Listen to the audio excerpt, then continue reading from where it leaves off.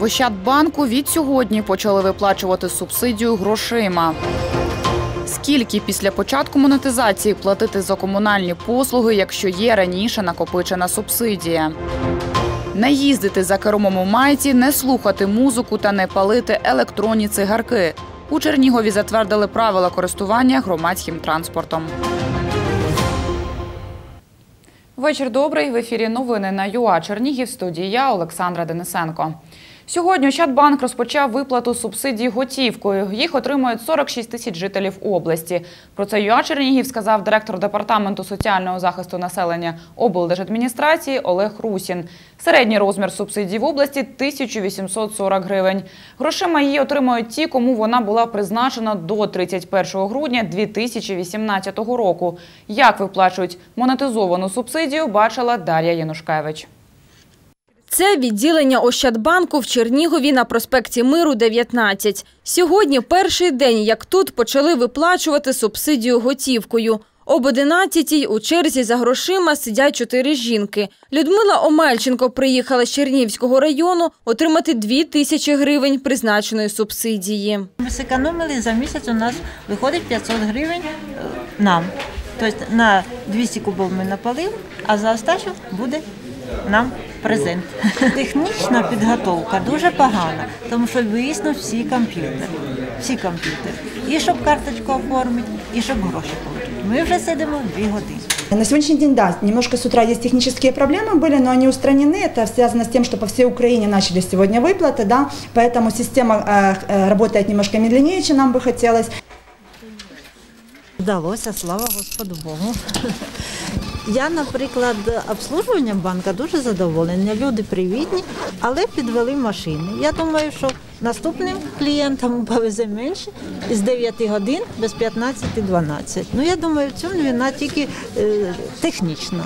86-річна пенсіонерка Любов Степанова каже, у черзі стоїть півтори години. У меня ноги больные, я не хочу с ними связываться. Мне надо, чтобы до дома принесли пенсию, и мне надо субсидию. А я хожу уже сегодня в третьем месте. За тепло на- на- насчитывают 2000, 1600 дают только, я не понял. А остальное там... Так что, мне кажется, тогда было лучше. Пенсіонери мають отримувати субсидію разом з пенсією. Всі решта у відділеннях Ощадбанку з 12 числа кожного місяця. Для цього потрібен паспорт та ідентифікаційний код. Громадяни, які не є пенсіонерами, е, вони можуть отримати свої кошти, призначену субсидію е, в установах Ощадбанку, причому в будь-якій е, зручній установі, тобто тут нема прив'язки для громадянина до якогось конкретного банку. Е, В будь-якій установі Ощадбанку отримати по програмі «Швидка, швидка копійка, це програма банківська переказів. Если человек э, планирует получать на открытый карточный счет в Ощадном банке, он мог спокойно прийти, открыть карточный счет заранее, чтобы с сегодняшнего дня ему субсидия пошла на карточный счет. Если карточка или нет, с собой нужно иметь паспорт, идентификационный код. Эти документы необходимы для выплаты денежного перевода в кассе, либо открытия карточного счета. Начальниця відділення банку каже, аби не стояти у черзі на виплату субсидії готівкою, можна записатися онлайн на сайті Ощадбанку. Час отримання грошей можна обирати. Дар'я Янушкевич, Дмитро Руденко. Новини на ЮА Чернігів. Нагадаємо, рішення про виплату субсидії готівкою уряд ухвалив на початку минулого місяця. Тоді міністр соціальної політики Андрій Рева пояснив, що у березні субсидію грошима отримують 4 мільйони домогосподарств в Україні. З 4 березня її почали отримувати пенсіонери у відділеннях Укрпошти разом із пенсією. За борг за комунальні послуги понад 340 гривень субсидію відмінять.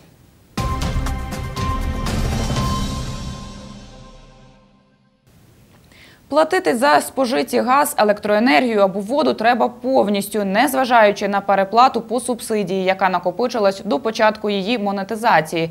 Про це сказала начальниця Новгород-Сіверського управління праці та соцзахисту населення Світлана Чуванова.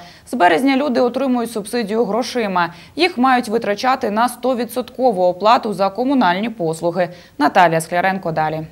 Жителька Новгорода Сіверського Марія Рубан отримала лютневі платіжки за газопостачання та електроенергію. Загалом у обох квитанціях переплата за комуналку майже 1400 гривень. У меня За свет переплаты 600 гривен. 600 гривен переплаты за свет. И за газ 700 гривен, больше, чем 700 гривен.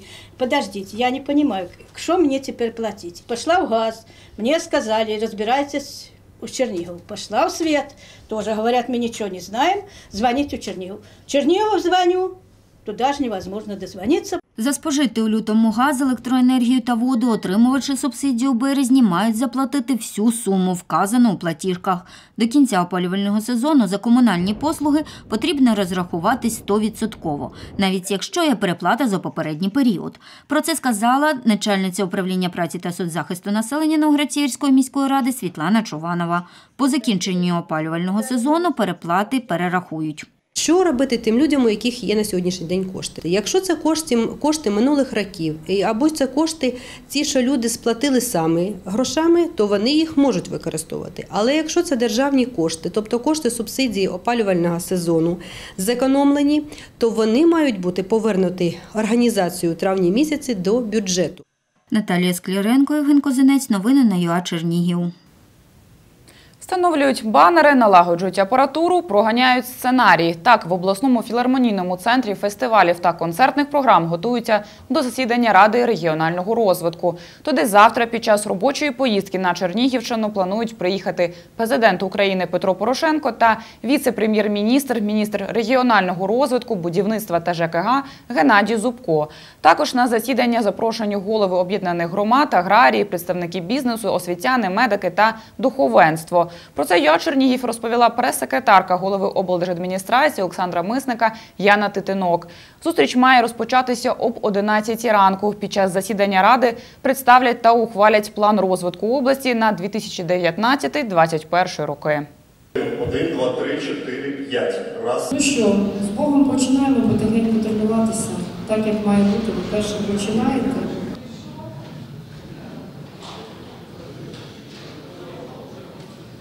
Засідання Ради регіонального розвитку Чернігівської області оголошується відкритим. Ймовірно, е, завтра відбудеться Рада регіонального розвитку е, за участю перших осіб держави. І наразі тут проходить підготовчі заходи, тобто люди перевіряють звук, е, відбудеться невеличка репетиція, ведучі.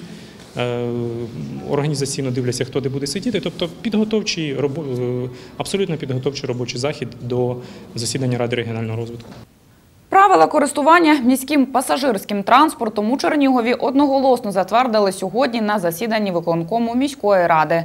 За ними в автобусах та маршрутках впроваджується електронний квиток. Окрім цього, водії мають бути охайно вдягненими, не їздити за кермом у майках і коротких шортах. Їм також забороняється палити в автобусі, в тому числі й електронні сигарети, їсти, розмовляти за кермом мобільним телефоном та слухати музику. Більше знає Валентина Мелько. Начальник управління транспорту міськради Олександр Рижий каже, приймали ці правила задля впровадження електронного квитка в автобусах та маршрутках. Це планують зробити з наступного року. Перевізник вже буде забезпечувати виконувати ці правила. Стаціонарні валідатори приходять, і кондуктор буде поки що ходити з ручними валідаціями. Компанія «Пасавто ЛТД» обслуговує 30-й маршрут. Заступник директора Сергій Олексієнко каже, про впровадження електронної оплати в маршрутних автобусах знають. Погано, що це переклали на е, плечі перевізників. Ну, тим не менше, будемо якось виходити з цього. Думаю, десь в кінці року будемо цим питанням займатися. Водіям автобусів за цими правилами забороняється палити в автобусі, у тому числі електронні сигарети, їсти, розмовляти за кермом по мобільному та слухати музику. Почему заборонять? Почему нельзя слушать тихонько музыку? Ну почему? Это мешает? Мне, мне не мешает. Пассажирам мешает? Сомневаюсь. Кто любит, пускай слушает, если она ему помогает работать. Насчет те- телефона, так я считаю, что это правильно. Но насчет музыки, как бы оно может его немножко расслабить, потому что целый день напряженный тоже, я думаю, все мы люди, все мы понимаем. Я считаю, чтобы именно в салоне не курили, то будет нормально. Но если он будет выходить из автобуса, то почему бы нет? И в відведених містах. Це залежить якраз від культури водія. Ось, е, якщо нормальний водій, нормальна людина, то вона не буде там ставити шансон або подібні пісні, е, там, вище там, 50 дБ і щоб е, ці пісні слухали е, всі пасажири автобусу. Також за цими правилами водії мають бути охайно вдягнені, не їздити за кермом у майках і коротких шортах. Вы зайдите летом в маршрутку с градусником и посидите полчаса. Ну, померите температуру. Если про майки, это говорят люди, которые сидят в кабинетах под кондиционерами. Или сделайте автобус с кондиционером. Я буду сидеть в галстуке. Они ж придумывали, жилетки придумывали там. Синтетические жилетки давали нам. З кінця березня, початку квітня ми будемо слідкувати за тим, щоб е, наші водії їздили в формі. Контролювати виконання цих правил, каже Сергій Олексієнко, перевізник не зможе. Радить скаржитися на порушення самим пасажирам. Проконтролювали на тому ж самому ЗАЗі, да. Воді сказав, все, я більше не буду слухатись. Від'їхав одну зупинку і включив знову. Ми ну це нереально проконтролювати насправді абсолютно ніяк. Якщо надходять скарги, тоді вже зовсім інша розмова з водієм. Ось, а особливо коли е, пасажири присилають фото або відео, це є беззаперечним доказом. і Тоді ми такого водія на перший раз е, відсторонюємо від роботи на тиждень, на другий раз просто звільняємо та і все. Валентина Мелько, Роман Репа. Новини на ЮА Чернігів. Це всі новини на сьогодні. Завтра перший випуск новин о 7.30 ранку. В цей час студії на вас чекатиме Діна Вонг. Ми ж зустрінемось о 13.30. Дякую, що залишаєтесь з нами. Гарного всім вечора та доброї ночі.